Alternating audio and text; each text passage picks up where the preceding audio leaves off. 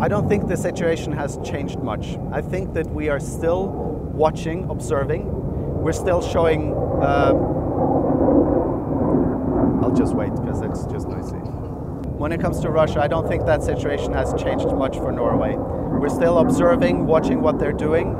Uh, we have a QRA that takes off and, and meets them uh, along our border. Uh, and we're just uh, showing them uh, that we are predictable. We are watching our territory just like Finland is for their own territory. Uh, so uh, I don't think the situation has uh, changed much from our perspective.